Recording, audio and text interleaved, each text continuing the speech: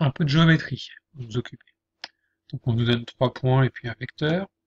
Et d'abord, on nous demande de trouver l'équation cartésienne d'une droite à l'aide d'un vecteur directeur, puis l'équation cartésienne d'une droite à l'aide d'un vecteur normal, et après on s'intéresse à l'intersection de ces deux droites.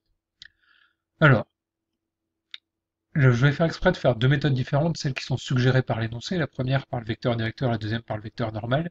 Il faut savoir qu'on peut facilement passer de l'une à l'autre, car on passe facilement d'un vecteur directeur à un vecteur normal.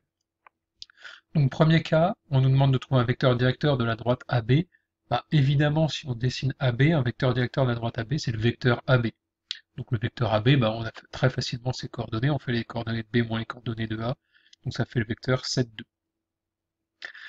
avec le dessin, un point M appartient à la droite AB, bah, on voit que les vecteurs AM et AB doivent être collinéaires. Ces trois points doivent être alignés, c'est notre façon de le dire. Quel est l'outil pour tester la collinéarité de deux vecteurs de R2 C'est le déterminant. Donc le déterminant de AM et de AB doit être égal à 0. Bah, AM, je l'ai facilement, x, y, ce sont les coordonnées de m, j'ai les coordonnées de a, et puis AB, j'ai déjà déterminé précédemment, et je dis que ce déterminant-là doit être égal à 0, bah par un simple calcul du déterminant, on obtient que 2x moins 7y moins 1 égale à 0. C'est une première façon de le faire. Dans la deuxième question, on nous demande de déterminer une équation cartésienne de la droite qui est donnée par un point, le point C, et un vecteur normal n si je fais un petit dessin, c'est que j'ai ma droite, j'ai un point C quelque part, et puis j'ai mon vecteur normal qui est orthogonal à la droite. La définition du vecteur normal. Ben, un point M, il est sur ma droite, point M de coordonnées xy est sur ma droite delta, ben là on le voit, le vecteur CM doit être orthogonal au vecteur N. Le dessin nous permet de le retrouver. Donc ça c'est pareil, c'est des choses vous n'apprenez pas, vous faites un dessin à chaque fois. On fait de la géométrie, on fait un dessin. L'orthogonalité, ça se teste avec le produit scalaire, donc le produit scalaire doit être nul. On connaît les coordonnées de M, on connaît les coordonnées de C, donc on a les coordonnées de CM. N, il était donné par l'énoncé, donc on a un produit scalaire qui est nul. Bon, bah, on calcule le produit scalaire et on obtient x plus 2y moins 4 égale à 0. Au début, je disais qu'on pouvait facilement passer d'une méthode à l'autre, car ici, on vous dit qu'on passe par le point C, qu'on est de vecteur normal n. Bah, si on est de vecteur normal n, on, pour coordonnées 1, 2, on a pour vecteur directeur le vecteur de coordonnées 2, moins 1. En fait, il suffit de prendre un vecteur qui a un produit scalaire nul avec n. Et donc, si vous préférez la méthode avec le vecteur directeur, bah, n, il est normal, 1, 2, donc ça veut dire que 2 moins 1 est vecteur directeur, et on applique la méthode du 1. Si par contre vous préférez la méthode avec le vecteur normal, bah, la première question, vous avez que la droite, elle est dirigée par AB, 7, 2, donc ça veut dire que elle a pour vecteur normal le vecteur de coordonnées par exemple 2, moins 7. Vous faites juste en sorte de créer un vecteur qui a un produit scalaire nul avec celui-ci. Mais si vous avez un vecteur après la droite AB de vecteur normal 2, moins 7, vous choisissez qu'elle passe par A ou par B comme vous voulez, et vous appliquez la méthode de la question 2. Donc une seule des deux méthodes suffit en général. Par contre, des fois l'énoncé nous donne une direction à suivre. vous voyez, quand on nous parle de vecteur directeur, on a plutôt envie d'utiliser un déterminant quand on nous donne un vecteur normal, on a plutôt envie d'utiliser le produit scalaire. C'est au choix, mais voilà, il faut savoir qu'on peut utiliser celle qu'on veut. Ensuite, on nous demande si les droites sont séquentes.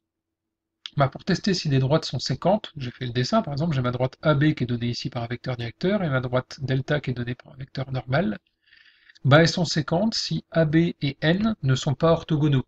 Faites le dessin, le seul cas où elles sont parallèles, si AB, il est orthogonale à n. Si mes deux droites avaient été données par leur vecteur directeur, j'aurais dit qu'elles étaient séquentes si et seulement si leur vecteur directeur, par AB et CD, n'étaient pas collinéaires. Vous voyez à chaque fois, c'est le dessin qui vous permet de déterminer dans quel cas elles sont séquentes ou pas.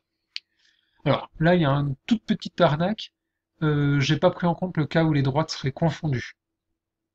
J'ai techniquement, si, si AB et N ne sont pas orthogonaux, alors elles sont séquentes. Par contre, si elles sont, s'ils sont orthogonaux, euh, a priori elles sont soit parallèles, soit confondues. Donc il faudrait exclure le cas confondu, qui est un cas où on pourrait considérer qu'elles sont séquentes, elles se coupent en une infinité de points.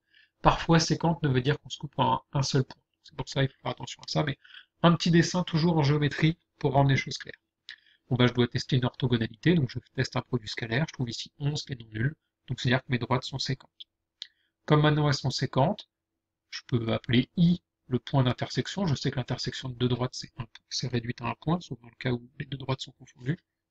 Et donc mon point i, il appartient à AB et à delta. Bah, ça signifie qu'il appartient à AB, c'est-à-dire qu'il vérifie l'équation de AB, une équation cartésienne de AB. Il appartient à delta, donc il vérifie l'équation de delta. Et dire qu'il est à l'intersection, c'est-à-dire qu'il vérifie les deux, donc c'est-à-dire qu'il appartient, il vérifie les coordonnées, vérifie ce système-là. Donc ça, c'est un truc général. Vous voyez, pareil, encore une fois, il faut juste traduire ce que l'énoncé. On est séquent, ça veut dire qu'on appartient aux deux, et un et. Appartenir à une droite, c'est vérifier son équation. Appartenir aux deux, c'est vérifier le système. Et là, vous êtes ramené à une simple résolution de système. Je fais juste une opération type d'élimination, type pivot gauss. Et je trouve directement x et y avec des coordonnées moches, mais pourquoi pas. Et donc ça me donne les coordonnées du point d'intersection. À noter que si j'avais pas vérifié qu'elles étaient séquentes avant, en fait, on peut s'en rendre compte en faisant cette résolution-là, si on tombe sur un système impossible. Si vous tombez sur un système impossible, c'est-à-dire qu'il n'y a pas de solution, donc c'est-à-dire qu'il n'y a pas de point d'intersection, donc c'est-à-dire que les droites étaient parallèles. Donc la première étape n'est pas forcément nécessaire. Là, l'énoncé m'oblige à le faire, les droites sont-elles séquentes? Si oui, déterminer le point d'intersection.